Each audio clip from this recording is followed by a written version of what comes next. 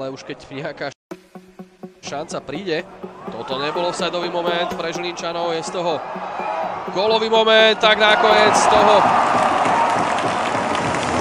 ťaží Robert Boženík, ktorý sa nenachádza v offside a zvyšuje na 2-0. Prvú strelu dokázal vyraziť Martin Vantruba. Kedy zakončoval Lukáš Janošík, aj keď sa tam stiažoval. Znova na vzdialenejšiu žrt. Tentokrát to Žilinčanom vyšlo ešte lepšie. Tam má loptu pod sebou Ďuriš. Ten mohol otvoriť skóre napokon. Je to Boženík, ktorý ho otvára.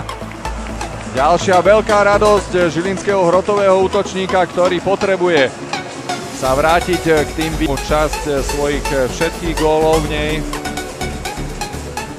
Boženík v minulej sezóne 13 gólmi jasný. Sopka Nonier Žil 38 strelí celkom 5-4 na bránu 3-2, bránu 2-2, Robovej kopí 4-2, tu ale veľká šanca Žilinčanov zvýšiť svoje vedenie a tak sa aj vykrát v jeho kariére zaradil do základnej zostavy žlto-zelených. Skvelú prácu predviedol Robert. Boženík.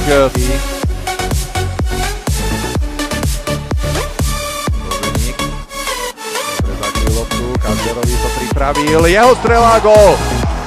Bránkár Taborda. Čo povedať, či tam niekto jemne tú loptu tečoval.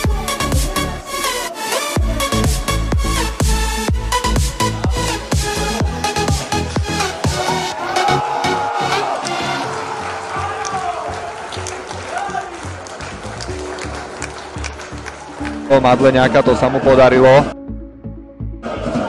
Žilinčania majú priestor v pokutovom území, konkrétne Boženík, jeho jemný center na vzdialenejšiu žrť. Demirit loptu prenechal Slukovi a ten otvára skóre zápasu už po... Trojicov Demiri, Bernát a Sluka. Sluka to poslal Boženíkovi a Žilinčania vedú v 40. minúte už 3-0.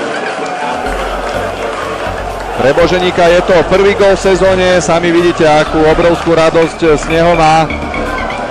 Boženík prichádza práve k tým spomínaným žilinským priaznivcom, ktorí merali cestu sem do Ružomberka.